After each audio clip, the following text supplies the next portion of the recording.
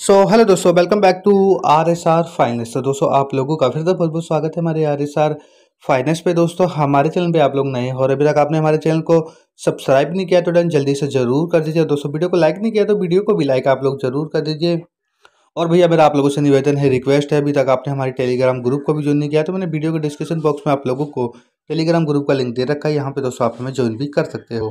तो दोस्तों एप्लीकेशन की बात करूँ तो आप लोगों ने अच्छी सी लोन एप्लीकेशन लेके आ गए हैं। एप्लीकेशन का नाम जो रहने वाला है भाई, आप लोग यहाँ देख सकते हो हेलो रुपीज़ जैसा कि आप लोग जानते हो, इसकी काफ़ी सारी एप्लीकेशन है। पचास से साठ एप्लीकेशन है जो मार्केट के अंदर आ चुकी है। लेकिन सवाल यह है कि भैया लोन क्यों नहीं मिलता? भाई लोन क्यों नहीं मिलता? ये चीज़ भी मैं आपको बताता हूँ। देखिए, क्या होता है, मैं पहले इस एप्लीकेशन के बारे में बताता हूँ। देखिए, जब आप मोबाइल नंबर से लॉगिन करोगे तो आपको दो ऑप्शन होंगे।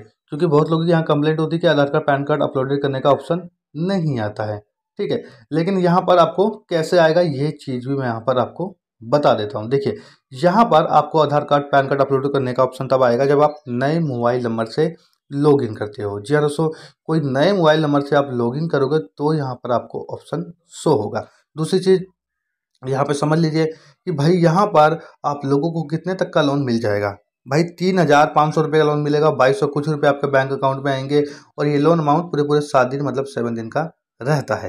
ठीक है? ये हो गया एक। और दूसरी चीज़ मैं आपको बता दूँ, भाई लोन ना मिलने का कारण। लोन ना मिलने का कारण समझ लीजिए। भाई, देखिए, इन कंपनियों के पास आपका पहला डेटा होता ही है जिसमें आप लॉगिन करते हो तो आपको Aadhaar card, PAN card uploaded करने का ऑप्शन नहीं आता। डायरेक्टली जो है अप्लाई करने का ऑप्शन आता है। कभी आपने इस चीज़ को नोटिस करी हो तो कभी चेक करना। डायरेक्टली आपको जो है अप्लाई करने का ऑप्शन आता है, उसके बाद जो है मैं आपको बता दूँ, यहाँ पे बहुत लोगों को जो है लोन अप्लाई करने का ही ऑप्शन आता है, किसी को मिलता जल्दी नहीं है।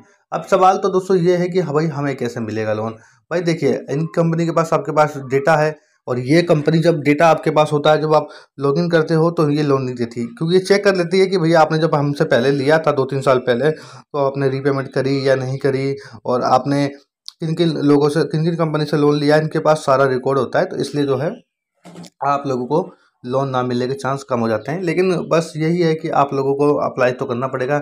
नए यूज़र जो होते हैं ना फ्रेशर फ्रेशर जो होते हैं, जो अप्लाई करते हैं, उनको मिल जाता है। पुराने यूज़र को नहीं मिलता है। तो दोस्तों, उम्मीद है ये वीडियो आप लोगों को अच्छी लगी हो वीडियो वीडियो को लाइक करो। चैनल पर हमारे नए हो तो चैनल को सब्सक्राइब भी ज़रूर करो।